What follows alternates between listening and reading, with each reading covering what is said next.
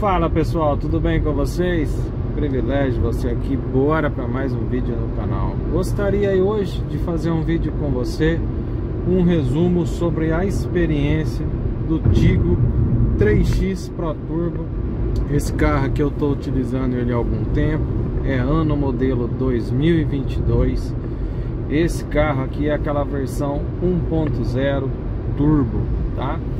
Então eu gostaria de passar para você uma experiência de forma geral aqui do carro para que você tenha uma base aí, ok?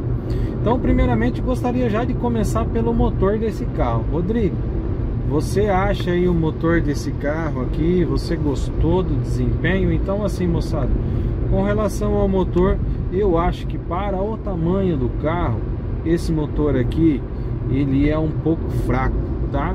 Diria para você que o grande problema aqui eu acho que com relação a desempenho seria o câmbio. O câmbio desse carro aqui é um câmbio que não agrada e eu vou falar um pouquinho para você sobre ele também. Então assim, com relação à motorização do carro, com relação à performance, eu particularmente eu não gostei. Mas Rodrigo, vamos lá. Comparado a um 2.0, entre 1.0 turbo e 2.0, qual você ficaria? Ficaria com 2.0. Rodrigo, 1.0 turbo comparado com 1.6, qual você ficaria? Ficaria com 1.0 turbo. Tá? Essa é a minha humilde opinião para com você. Essa é minha experiência e minha opinião para com você. Beleza, Rodrigo, você falou do câmbio. Você não gostou do câmbio desse carro? Moçada, não gostei do câmbio desse carro. Por quê? É, como você sabe, aí tem vídeo no canal eu falando um pouquinho mais detalhadamente sobre o câmbio desse carro aqui. Essa sistemática aqui desse câmbio, quando você vai parar o carro num semáforo ou num pare e o carro fica empurrando você para frente, você tem que ficar com o pé firme aqui no freio. Isso daqui não agrada. Parece que o câmbio ele não se torna algo inteligente, entendendo assim, bom, eu entendi que ele quer parar o carro? Ele quer ficar com o carro parado. O câmbio parece que não compreende isso e fica como se fosse forçando o carro para sair na frente. Beleza? Beleza. Então, não gostei do câmbio. O câmbio não tem modo S, apesar aqui de no computador de bordo, aqui no painel, você arremeter aqui ao modo Sport, o modo Eco. Mas o câmbio aqui ele não tem a posição, ele tem a posição, nós estamos em D, como você está vendo lá no cluster. Vou passar aqui, ó, pro modo manual, oitava marcha, nona marcha, como você está vendo ali, ó, modo de economia total, ok? Então passei ele para essa posição aqui. Com relação a conforto, o câmbio muito legal. Se você utiliza o carro somente em rodovia, cara, vai ser legal, você não vai passar raiva. Mas se você utiliza em cidade, eu particularmente não gostei. E assim, né? Em rodovia, a única situação que não me agrada é na ultrapassagem porque ele não tem borboleta. Então assim, você tem que, ok, você vai reduzir aqui, igual eu fiz aqui, ó, sexta marcha lá, né, ó, lá, emulando lá. Então você reduz e cola o pé, né? Então tem essa oportunidade, beleza? Ok, Rodrigo, então vamos lá. Então você falou de câmbio, você falou aí do motor do carro. É, vamos falar um pouquinho do design. Você gostou do design? Demais. Adorei o design desse carro. Gostei demais, tá? Eu digo para você assim, ó, se você tá afim aí, né, de andar com um carrinho diferente, se você gosta disso, né, de andar com um carro assim, modelo diferente, esse carrinho aqui agrada demais. A frente dele eu achei muito moderno. A lateral dele também gostei, arremete os carros da Lambo, né, com teto um pouquinho mais baixo. Isso é minha opinião, ok? E gostei da traseira também, achei bem interessante a traseira desse carro. É, eu gostei, tá? O design dele em si como um todo me agradou. Muito bom. Rodrigo, interior, você gostou? Gostei demais, moçada. Apesar de ser plástico, né, os detalhes, ele tem alguns detalhes, né, como esse tipo de acabamento aqui, que é tipo carbono, eu achei bacana, tá? Então, assim, a questão do couro no volante e tal, os desenhos, a modernidade aqui dentro eu achei legal, atrelado a esse cluster que eu achei muito bacana, né? Como você tá vendo lá, eu coloquei a pressão dos pneus e a temperatura, eu gostei, tá? Achei interessante isso aqui. Mas o computador de bordo, né? Falando aqui do computador de bordo, já abordando com você aqui, eu achei que poderia ter mais funções, tá? Interior do carro, muito legal, os bancos, design muito legal, gostei bastante. Então, interior, gostei, muito bacana, tá? O cluster do carro, computador de bordo, acho que poderia ter mais funções, mas é muito legal, eu gostei desse design, à noite ele fica muito bonito, tá? Gostei, a, a qualidade de pixel, é, acho que deve ser TFT, né? Desse, desse display, cara, muito legal, uma qualidade muito boa, beleza? Então, com relação aqui ao cluster, aqui o computador de bordo, as funções do volante, eu gostei de tudo, mas achei que ficou faltando mais coisas, né?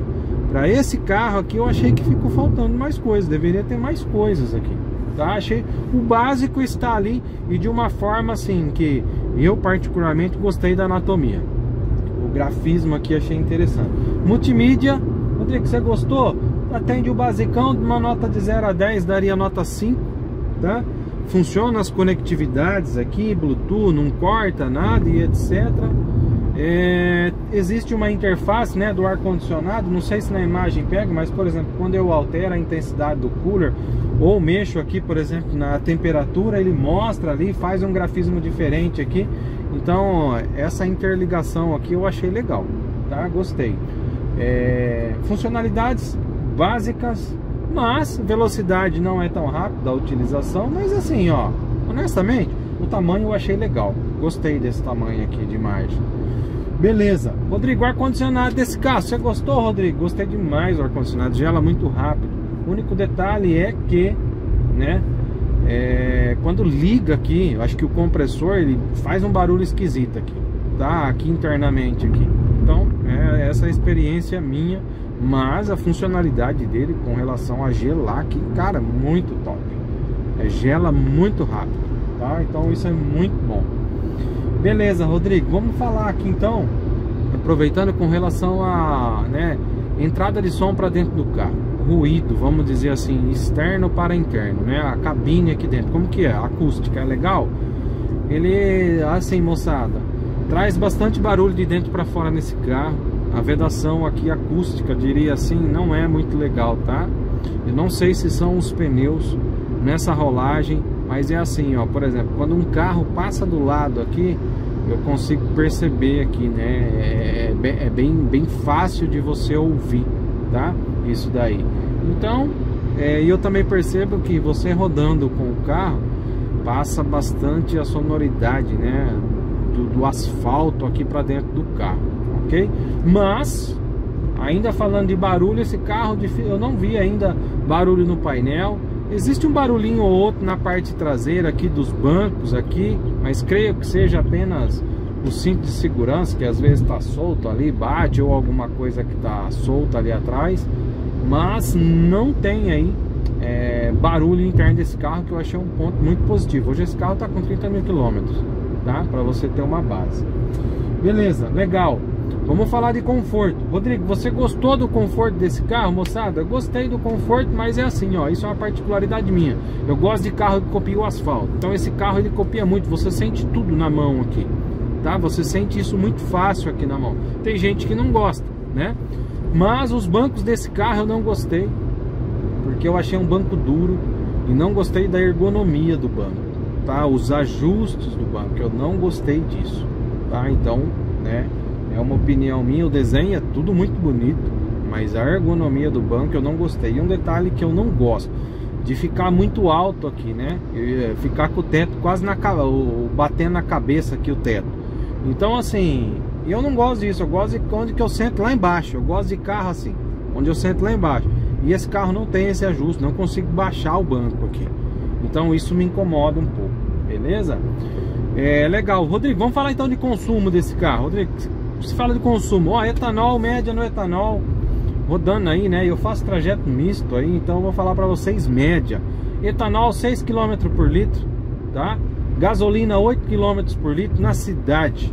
Rodrigo, rodovia 10 km por litro é, no etanol e a média aí de 12 na gasolina rodovia. Isso que eu tô passando para você são números da bomba, da bomba, não são números do computador de bordo, tá? Então essa é a base que eu fiz as medições na bomba e estou passando para você essa experiência. Agora, por exemplo, como você acompanha comigo, Ele está falando aqui que eu estou em consumo médio. Esse carro está abastecido a gasolina 9 km por litro, tá? Então assim, ele está tirando uma média aí, né, do que eu abasteci.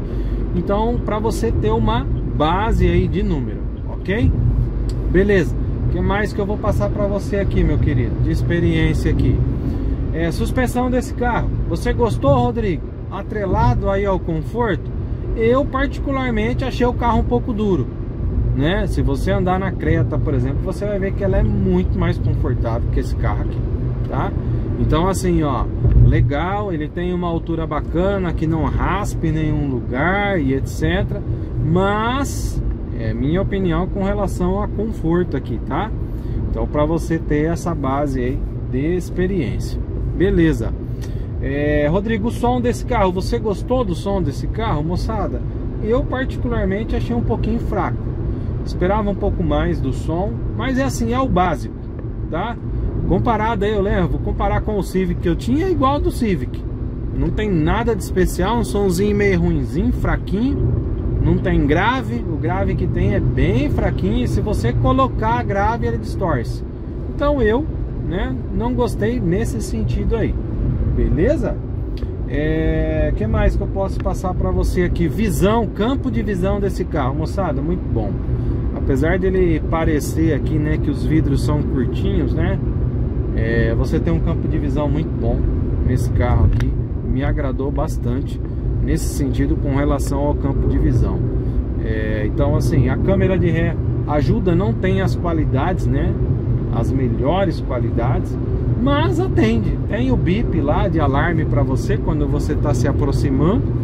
E ele tem aquelas linhas né, de suporte que você pode customizar aqui se você quer tirar ou se você quer manter na multimídia, tá? Então tem essa opção aí para você. Esse carro é start stop, que é um detalhe que eu achei legal e uma particularidade que eu gostaria de passar para você é a chave presencial, né? Você coloca a chave na mochila aqui, ele automaticamente, você saiu do carro, se distanciou do carro, ele fecha o carro e você se aproxima do carro, ele abre o carro. Então isso eu achei muito legal, gostei demais. É... Legal. Outro ponto que eu gostaria de passar para você com relação ao porta-mala desse carro. Eu achei o porta-mala legal, um espaço bacana, vai atender aí, não é um espaço de um sedã, mas o espaço do porta-mala cabe aí bastante coisa assim, bem diferente, por exemplo, desse carrinho da frente aqui. Então assim, né, ó, é, aqui você vai ter um porta-mala que você vai conseguir colocar sua bagagem para viagem.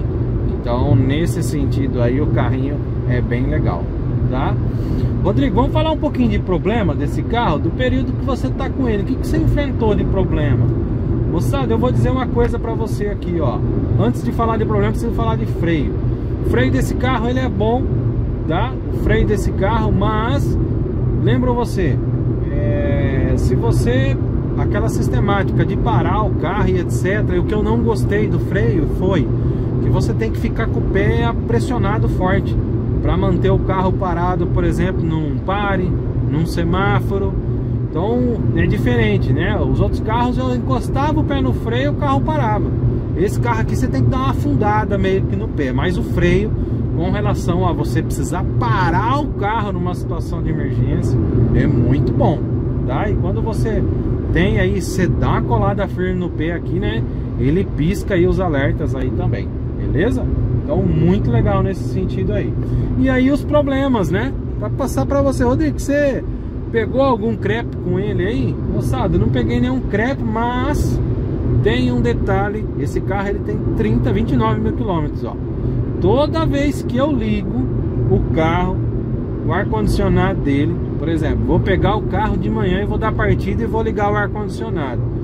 Ele fica parecendo aqueles carros antigos, sabe? Quando molhava, pegava a chuva, ficava aquela correia meio patinando, aquele barulho esquisito. Esse carro ele tem esse crepe aí hoje. Então ele faz isso hoje. Se você ligar o ar-condicionado, você deu partida de manhã nele, primeira vez que você vai sair com ele, não precisa nem ser a primeira ficou um período parado, você vai sair com o carro, já ligar o ar-condicionado, ele faz esse crepe aí, entendeu? Então assim, Foi o único problema que eu tive com ele com relação a funcionar multimídia, com relação aqui aos vidros, tudo que tem nele funciona normal, funciona muito bem. Um detalhe aqui que vale eu ressaltar para você: iluminação desse carro, os faróis desse carro. Meu, se, se, eu pudesse dar uma nota aqui, que a melhor nota desse carro é com relação ao farol. Eu gostei demais da iluminação desse carro aqui. Então, se você está utilizando o carro à noite aí, né? Você está com o farol aceso desse carro, ele ilumina muito bem. Se você ligar o farol alto, então surpreende demais, tá? Então o sistema de iluminação desse carro aqui é, é top demais, tá? Na rodovia, meu, é chique demais, ilumina muito bem.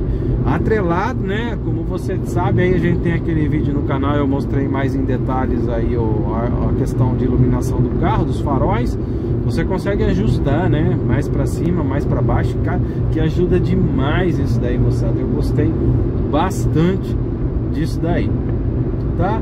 Então eu acho que é isso, meu querido. De uma forma bem holística, passei aí para você todos os pontos desse carro. Espero aí, né, ter te ajudado de alguma forma com esse vídeo aqui. Eu sei que o vídeo ficou um pouco longo, mas eu acho que é importante, né? Às vezes a pessoa gosta de ver vários vídeos fracionados. Esse daqui a gente vai fazer um vídeo bem grande, onde eu abordo todos os pontos aqui para você e, e, eu creio que vai te ajudar se você tiver a paciência de assistir esse vídeo aqui. Rodrigo, a última pergunta, você compraria esse carro? Moçada, honestamente, é assim, não é o estilo de carro que eu gosto. Minha esposa se apaixonou por esse carro, né? É o carro que ela quer para ela. Então, assim, é uma questão de gosto, tá? Mas eu, né? É assim, a, e aí, né? Toda essa questão que é um carro novo no mercado, né? E etc. E eu, particularmente, não compraria, né? Até porque, eu, primeiro, que eu não tenho nem dinheiro para comprar um carro na magnitude de valor desse daqui, né? Eu humildemente digo a você, coitado de mim para comprar um carro aqui. Eu acho que esse carro hoje vale o quê? Zero uns 120 mil, eu acho que deve ser a tabela dele. Eu acho que um usado deve ser o que? Uns 100 mil, cento e pouco.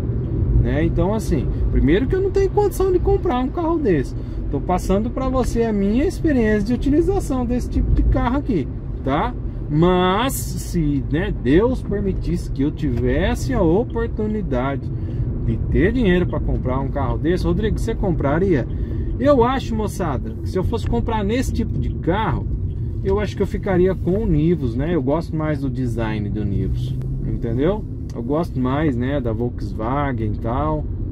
É, eu gosto muito daquele motor do TSI, né? E eu sei que é possível fazer um, algumas coisas nele, né? Então, assim, pra mim me agrada mais nesse sentido aí, beleza?